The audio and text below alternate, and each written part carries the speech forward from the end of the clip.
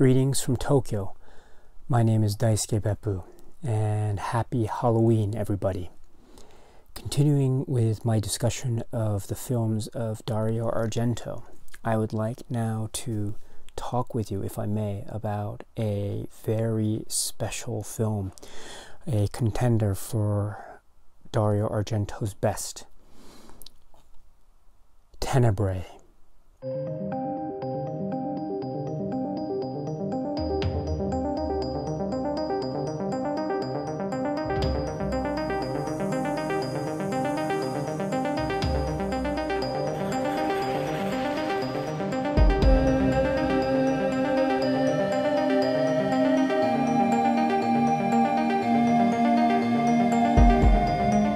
This is the Arrow release, Blu-ray, Region B, and so this has two discs. So it has a Blu-ray and it has the DVD. So this is 101 minutes and it has uh, the English soundtrack and also has the uh, Italian soundtrack and it also has uh, audio commentary uh, with Kim Newman and Alan Jones, a brilliant commentary by the way. It also has another brilliant commentary uh, with Thomas Rostock, which I learned so much from. It's fantastic. Um, and then there's an introduction by Daria Nicolodi, uh, and there's an interview with Dario Argento, and there is another great supplement called Screaming Queen. Daria Nicolodi remembers Tenebrae. And then there is an interview with the Argento expert Maitland McDonagh, author of Broken Mirrors, Broken Minds, The Dark Dreams of Dario Argento. I love that book, by the way. I, I don't have it anymore. I think I lost it, but I I own two copies of that when I was a kid, and I just read that over and over again. Uh, a real important book in my in my Dario Argento education. Um, and then I'm sorry. Then there is another um, uh, supplement called A Composition for Carnage, composer Claudio Simonetti on Tenebrae. And then there's a Goblin performance, uh, live performance of Tenebrae and Phenomena. Then there is a trailer and then a booklet. So here is the front and here is the back. And we have the inside here, lovely. And then there's a Blu-ray and here's the DVD. And if we remove the DVD, you can see the back, which uh, should reveal what the reversible sleeve should look like. And then we have the book here, which has uh, here the front, uh, one of the victims uh, after her throat has been violently slashed and her head is jammed to the, to the glass. So this is one of the book. This is the book here, and here is the back, which is really nice. There's the Japanese title of the film, by the way, Shadow. And we have a really nice book, as uh, you know, Arrow does a really nice presentation here, um, and the essays here are just uh, fantastic. Okay, my friends, so as always, uh, I will be spoiling or potentially spoiling this film because I will be talking about this film in detail. So if you don't want to be spoiled, please turn off this video right now. Especially with this film, especially at this film, you do not want to be spoiled. Again, don't get spoiled by um, by hearing uh, plot spoilers before you watch this film because you really want to avoid that with this film. I mean it. I really mean it because it is so filled with uh, surprises, uh, both great and dark, uh, that really should be saved for your initial viewing of this film because it is a truly fantastic, fantastic film that should be uh, viewed fresh and without any information, or as with little information as possible. So after you watch it, please come back, and I would love, I would love to talk about this film with you because I love this film so much. Um, but yes, there's no rush, so please take your time. I will still be here, and uh, we can go from there. Okay, so you're still here. Tenebrae, Tenebrae, Tenebrae, Tenebrae. Um, this is a a key film uh, in the Dario Argento catalog. It is one of the greatest Dario Argento. Well, it is probably a contender for the greatest Dario Argento film. Uh, it is a th rich, th uh, thematically complex, uh, highly nuanced uh, film. It has a real uh, a cobweb-like narrative structure that is really intricate and its narrative thrust is, uh, I think, almost on par with its technical bravura and achievement, which is just uh, purely uh, pure Argento. You know, Argento is just operating on um, all thrusters here, just so to speak. He is really um, just. It, it is remarkable, you know, the, the run that he's having so far even with a film like Inferno, you know, I, I feel like Inferno has its weaknesses, but it is still undoubtedly and undeniably a, a, very good film, and it is an artistic uh, achievement in many respects. So, inclu- even including that film, you know, he's having a real solid run, and now with Tenebrae, Argento is just hitting us. Um, uh, he's just giving us more reason to believe that he truly is one of the great film directors um, of this uh, of this generation. First and foremost, it is a giallo film, so it's like a murder mystery film, and it's nice because there are a lot of characters that can be suspects, and there's a lot of uh, gore and mayhem and violence.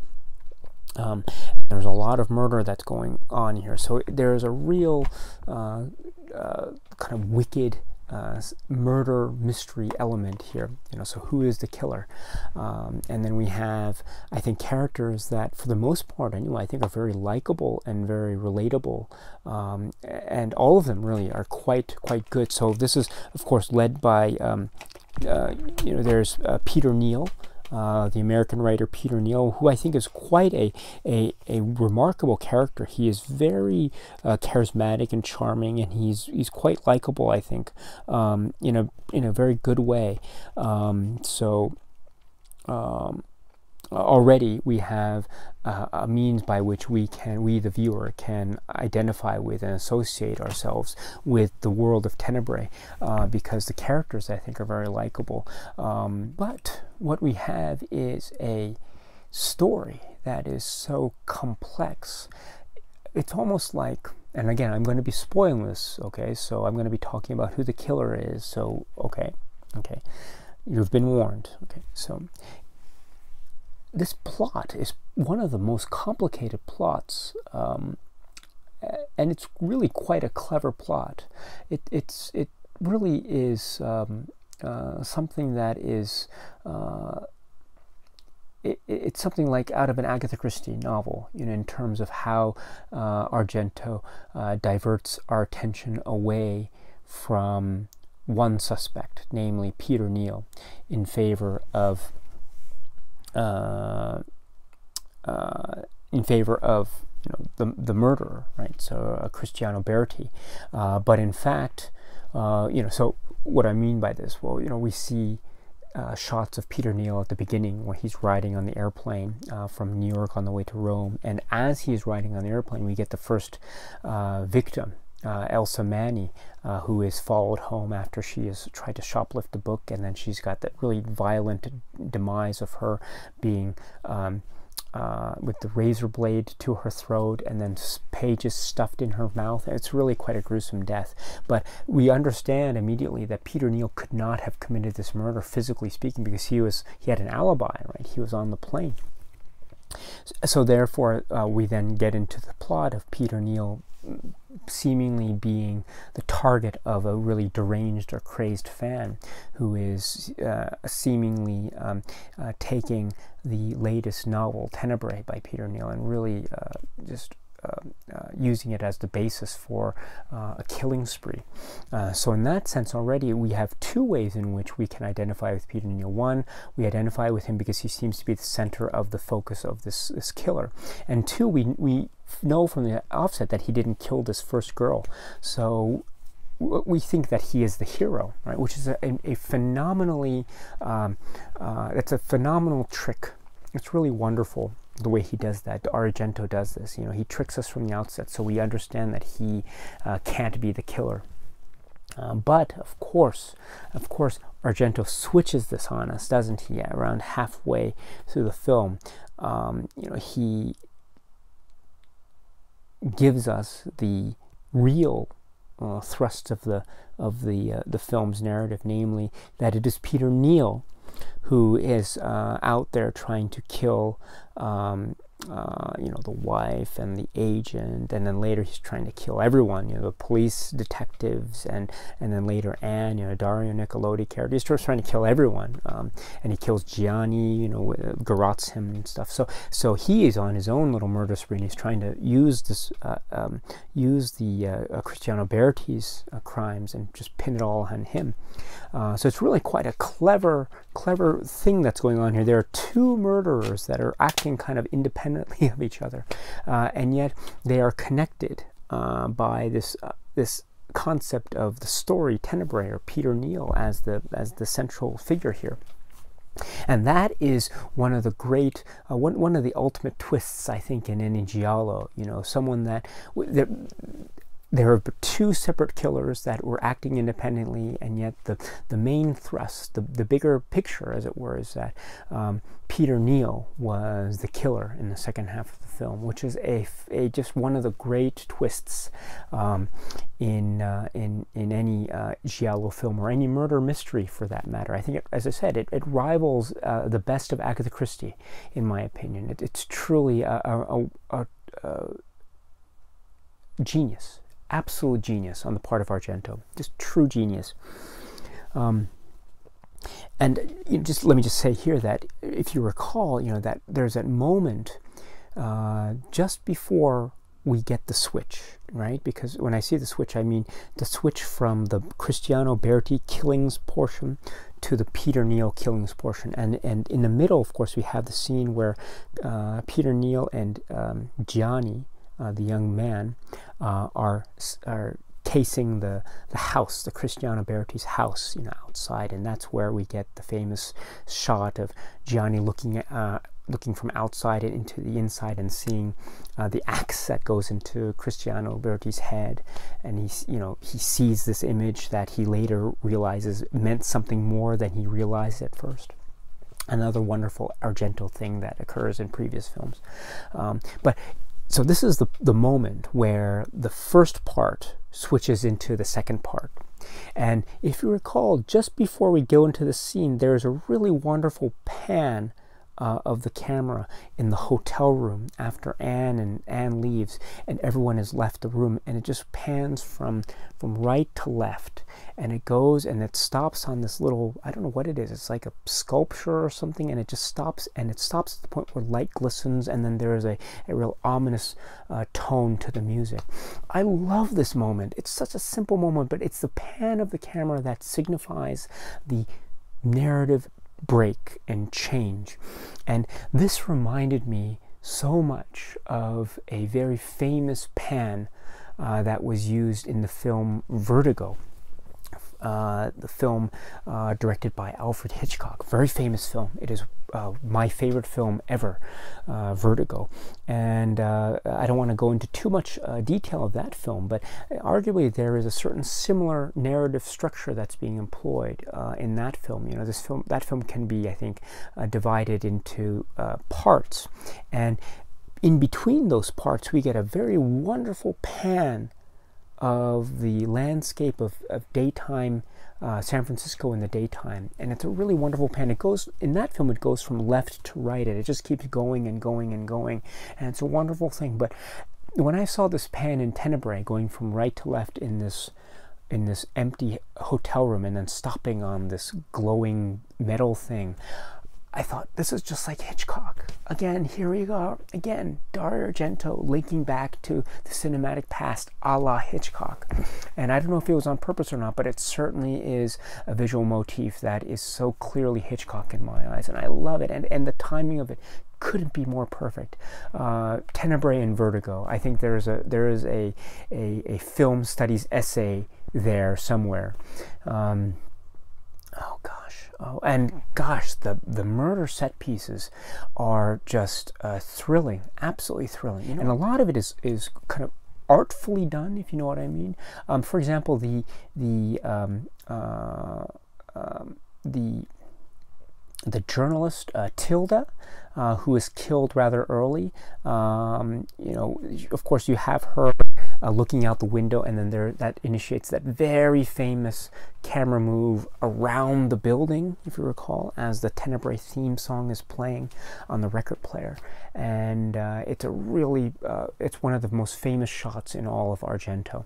Um, and then, of course, we get her as she's changing out of her clothes and putting on a shirt, and as she, her shirt is over her head, she's attacked and then the razor cuts through the, the cloth and then we see blood. Um, it, there's a moment and then suddenly blood spurts out. So it's a little bit of a, an odd thing. We, i'm not quite sure what the the, the geography is of, of that moment. It seems to be suddenly like the shirt has become full size, like a big piece of cloth or something, and her face is, is shown through the, the tear of the, the shirt. And then after like a, a moment of about two or three seconds, it seems like then the blood starts to pour out. So it's a little bit of a, an artfully done murder scene. Uh, which is an example of how these murder scenes are carried out. Uh, very no nonsense, you know, except, of course, except the iconic, iconic um, uh, death scene of uh, Jane. Uh, right, the the death scene, and, and then you have the axe that goes through the, the window as it's raining and just chops off her arm. he doesn't stop there. He has the victim just bathe the, the wall, the white wall, in just this huge swath of red and just more axe cuttings and, and bloodletting. And it's just um, unbelievable. It's unbelievable. This is, this is one of the bloodiest deaths um, in any film, in, uh, let alone an Argento film.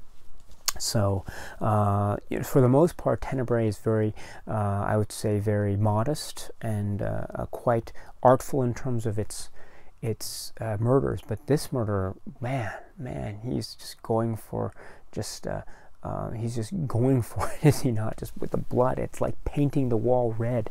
What can we say about the, the, themes that are employed here in this Argento work? You know, there are many themes that are being employed.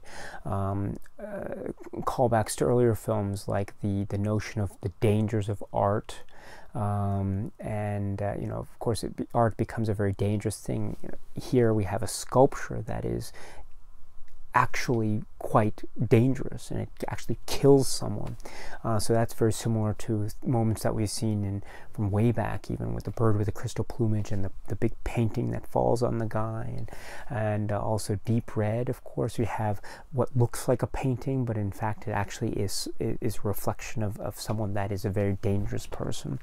Um, and then we have later on we'll have something like the Stendhal syndrome where we have art actually enveloping uh, someone or someone actually going into a painting. So there is a certain element of danger there. So art as a very uh, maybe active force or maybe even a negative force in the context of these characters is, is a theme that appears here in Tenebrae uh, quite uh, quite literally. Um, uh, there's also a great scene involving Bullmer, uh, the John Saxon character, and his demise. You know, in this public square, and it's bright, and there are many people around, and yet he is dispatched with uh, rather quickly and rather uh, ruthlessly uh, with uh, a stab to the, the stomach. so this recalls other scenes in other Argento films where we have public squares and open spaces still being places of great danger and and death. So we saw this, for example, in Suspiria, if you recall. We also saw it in the film Cat o' Nine Tails. Uh, well, this film, uh, Tenebrae, uh, does it in a very uh, memorable way, um, and in a way that is is it's truly truly gruesome. Um, so. Uh, yes, this is another Argento theme that is being employed here. Um, you know, there can be more that can be said about the similarities with other films, perhaps. But I think what makes this film stand apart from the others is, uh, as a, something that I alluded to, its thematic complexity. There are lots of uh, dealings with doubles and this is, I think, due uh, in part to the fractured nature of the psychology of the main character, Peter Neal. You know, he's fractured in two, perhaps, uh, which is due to this uh, very traumatic event that apparently happened to him in Rhode Island. Um, uh, involving uh, Eva Robin's, you know, with an apostrophe S. We also have dualities here in terms of the two murderers, you know, Cristiano Berti on the one hand and Peter Neal on the other. Um, and then we have the duality which Cristiano Berti seems to be acting uh, uh, upon, which is the nature of uh, fiction versus reality, which is a very uh, um, standard and um, very important uh, kind of dichotomy that is dealt with in in these horror films and, and Argento films and films about artists, you know, the art versus reality. Uh, well, here we have Peter Neal and his book uh, presenting one kind of world, uh, but P- but Peter Neal uh, lives in a reality that is that he tries to um, explain as being different from the world of the book Tenebrae. Um, but uh, then we have these dueling tensions, right? Uh, Cristiano Berti is trying to bring the world of Tenebrae to that world, um, but uh, Peter Neal, at least in his uh, in his descriptions of the book, always denies that. But in fact, ultimately, what happens is that the world of Tenebrae, the book, is in fact the world that Peter Neal and these people inhabit. So, so they are one and the same. So it's amazing. So we have this, these, these, this tension between these dueling poles, which ends up being a unifying force in a very uh, interesting way. Um, and uh, there are other examples of this. Uh, visually speaking, I think one of the most famous examples is when um, the inspector uh, at the end of the film, right? He's looking around and he sees that Peter Neal has disappeared, and he, he realizes that the um, the razor blade that was used was in fact just a toy or is this a prop to fake his own death? Uh, and the inspector, of course, finds something on the floor and kneels down, and then all of a sudden, Peter Neal appears behind him. So it's almost as though we have one person being replaced by another person. Uh, so this idea of duality uh, uh, between one person and another uh, acts as a very negative or destructive force to the point where one side totally destroys the other uh, both visually and actually. So he destroys Peter Neal destroys the inspector visually, of course, by by uh, when he is removed from the flame. Peter Neal then takes his place, uh, but then moments later he actually does destroy the person by actually killing him with an axe. So it, it's a it's a wonderful uh, interplay here between uh, one pole and another. Um, so this is a truly richly thematic film uh, that I think is filled with great nuance and wonderful complexity that is arguably unlike any other Dario Argento film uh, we have seen or will see. Uh, that's not to say that uh, the rest of his films are uh, thematically simple, uh, but I think here in Tenebrae there is something really magical and special going on. It's almost as though the narrative is just as bonkers as the style that occupies it. And I mean that in a very positive and good way. Uh, and that makes Tenebrae, I think, one of the great Argento films. Um, I should say here very quickly uh, the music um, is one of the my favorite musical scores. I love how the, the, the theme, um, it almost speaks you know, it, it, it has, it, it's almost as though it's saying paura, paura, uh, which I think is the Italian for fear, uh, the notion of fear. Uh, so there's this kind of driving force. So the music is almost speaking to us, which I think is just a lovely thing. It's almost, it's, it's its own entity. Um, uh, and uh, I love that about the music. Uh, and also, I just want to say that the ending, the ending is one of those great endings. Um, you know, Argento likes to do this a lot.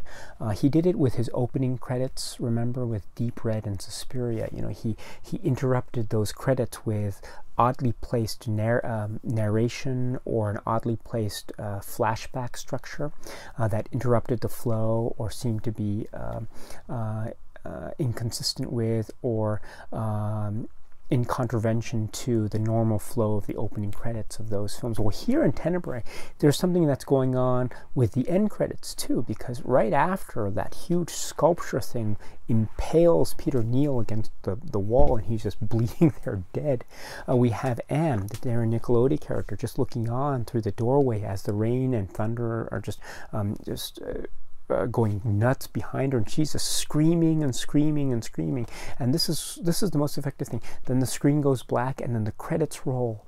And even as the credits roll she still hear her scream and scream and scream. And just it just goes on until it fades slowly out and then the music slowly takes over. So we have Argento playing with normal conventions of even the closing credits, which is astounding to me. And this is a uh, uh, this is an indication that he is thinking about every single detail. He is looking for any way to to poke at us and to make us unnerved, even if it's just a little thing like the closing credits. Um, man, this is a the mark of a, a, great cinematic genius uh, par excellence, is it not? He is truly um, just off firing on all cylinders here, and it's a remarkable thing. It's it's a real pleasure to see. Tenebrae. I'm very glad I was able to to get this um, and watch it a lot because it is truly uh, Argento's masterpiece. Um, it's going to be hard.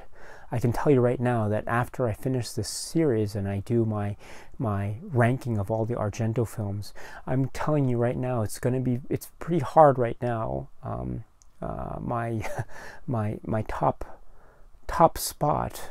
Uh, I don't know which film is going to occupy that top spot right now, and uh, I would say Tenebrae is certainly a strong uh, contender uh, for that top spot because it is a, a real masterpiece. One of the great Giallo films, one of the great Italian Giallo horror films, certainly one of the great films, greatest films in Argento's catalog, bar none.